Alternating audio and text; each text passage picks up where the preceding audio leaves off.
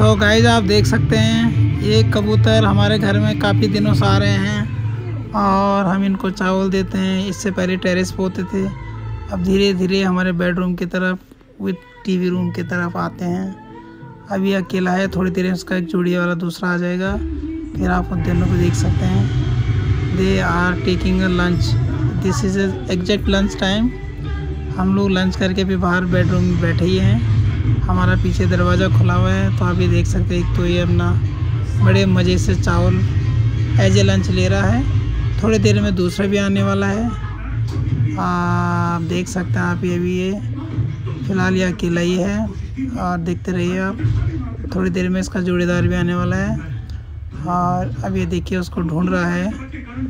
तो आप देख सकते हैं, ये उसका इंतज़ार कर रहा है कि अकेले लंच कर रहा हूँ कह और देखते रहिए आप थोड़ी देर और आने में थोड़ा सा टाइम लग रहा है।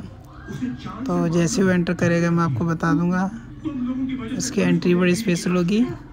मैं बिल्कुल दरवाजे पे बैठा हूँ और अभी ये मेरे सर के ऊपर से उड़ के जो है, तुरंत जो है लंच के लिए आएगा। अब मुझे लगता है ये अभी इसके अपने जो सेटो देखी, ये देखो, ये आ गया मेरे सर के ऊपर से। और ये दोनों बड़े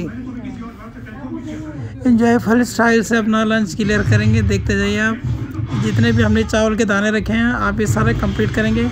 अभी उधर हमारे सामने गैलरी है। उधर से थोड़ी देर में हमारा छोटा कार्तिकेय आने वाला होगा।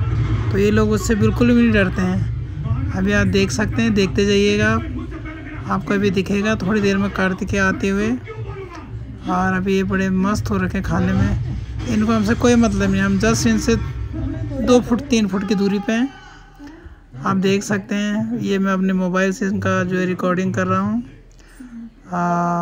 ऑलमोस्ट ये है लाइव रिकॉर्डिंग हो रही है इनकी। अब आप देख सकते हैं, इसमें कोई एडिटिंग नहीं है। अब आप देख सकते हैं, इनको कुछ आभास हुआ, देखो कार्तिकेय आया, वो वहाँ खड़ा हो गया। देखो, फिर से अपने जो है, कार्तिकेय और इनके बीच में कुछ ज़्यादा डिस्टेंस नहीं था, मुश्किल से डेढ़ दो फुट करा होगा। ये थोड़े से विचलित हुए, फिर अपना लंच पे शुरू हो गए अभी आप देखेंगे कार्तिकेय थोड़ी देर में इनके सामने बिल्कुल खड़ा होगा, बातें करेगा हमसे। ये अपने उससे मस्त रहेंगे। आप देख सकते हैं, देखो। दोनों कितने मस्त होकर अपना लंच का मज़ा ले रहे हैं। शायद ही बहुत कम सिचुएशन होता है ऐसे, कि जब पक्षी घर के अंदर आके जो है, कबूतर घर के अंदर आके जो खाते हैं ये देखो, ये कार्तिक आया तो एक थोड़ा डरपोक भाग गया था। फिर से दोबारा जो है उसने एंट्री मारी। अभी तो आप देखेंगे काना जो है उधर खड़ा हो गया सामने। ये कुछ बातें कर रहा कार्तिक आप देखिए इन पर कोई फ़र्क नहीं पड़ता है।